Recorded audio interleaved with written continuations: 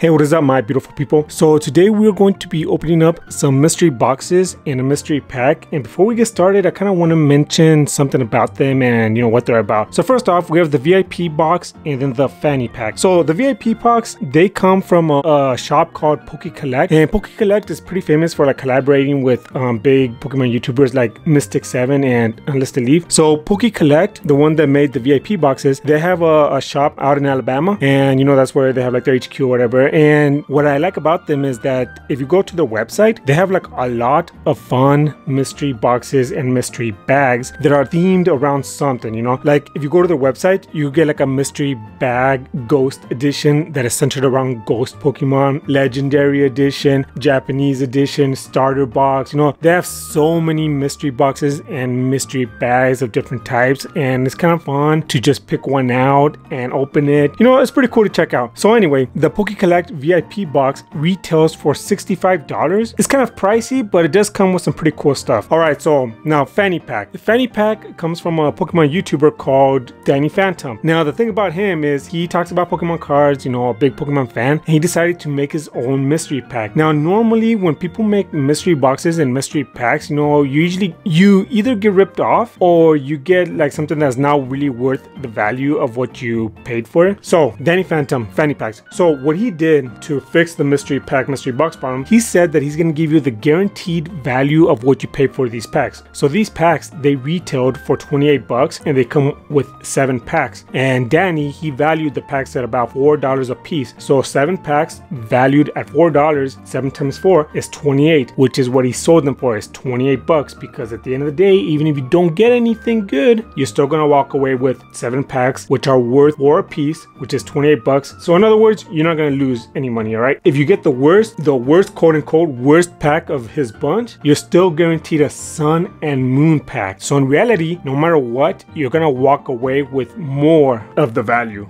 All right. So anyway, let's open these up. Enough of me talking, and yeah, let's just see what we get. And one more thing, the packs. I'm not gonna open any. I'm just gonna set the booster packs aside for something else. But we're not gonna open up any booster packs today. All right. So let's get started. All right. So to start off, we're gonna start off with one of the VIP boxes, and then we'll open up the Phanny Pack, and then we'll open up the other VIP box. I think that's a pretty fun way to do it. Let me know if you agree. All right, so the Poke Collect VIP box. This retails for 65 bucks, $65 if you want one of these. What comes in one of these? So right here it says there's a vintage holo Wizards of the Coast seeded 1 in 10. It comes with one PSA, CGC or BGS graded Pokemon card, one premium foil card, and five booster packs. So that's what you get in the VIP box. Then here on the side, it says there's a Charizard seeded 1 in 10. There's the top, there's the bottom, all right? So if we assume that the packs are worth 4 bucks a piece, 4 times 5 is 20. This retails for 65. So essentially, if you want to get the actual value for your money, you have to get something really good with the foil card or the graded card.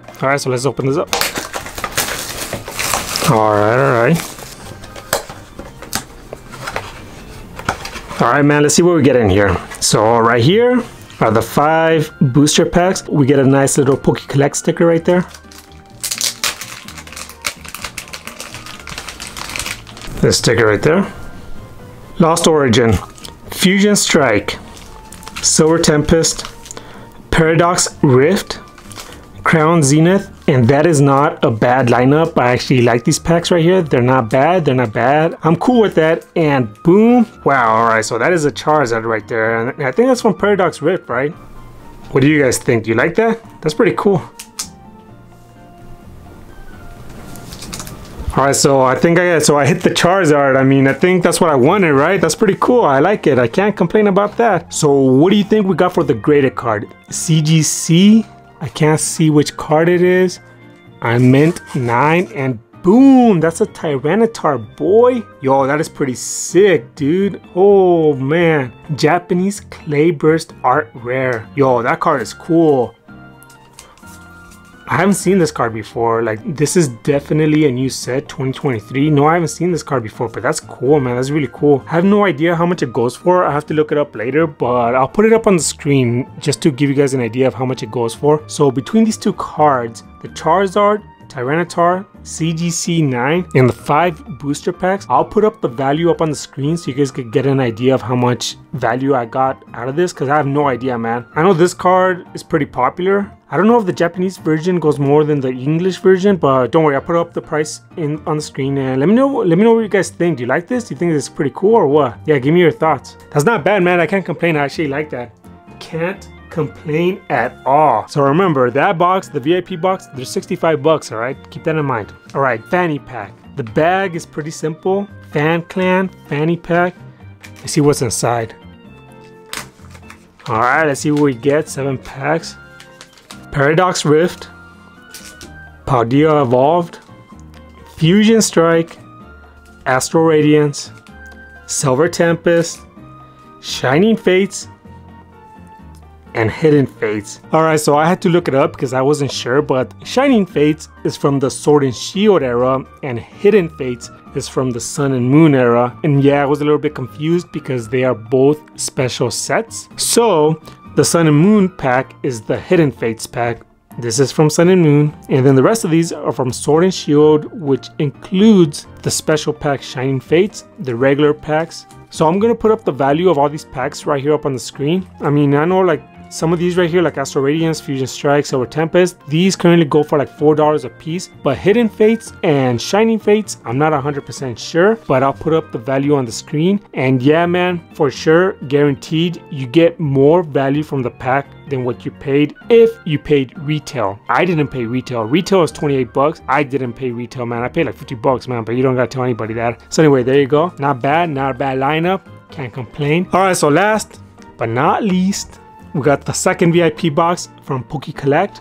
Again, one graded card, one premium foil card, and five packs. And yeah, let's see what we get. Hopefully we get something else that's pretty cool, man, because that Tyranitar was badass, man. Alright, alright, alright. These are pretty fun, aren't they? Let me know what you guys think of these. Let me know if you like what you see. You probably got a little peek right there, but I don't know what I, like I didn't see anything, alright? I didn't see anything. Alright, so this one didn't come with a sticker. Huh. Yo, where's my sticker at? Poke Collect? Alright. Obsidian Flames, Silver Tempest, Paradox Rift, Scarlet and Violet, Pokemon 151, Cheers, raise your hands up in the air, badass set.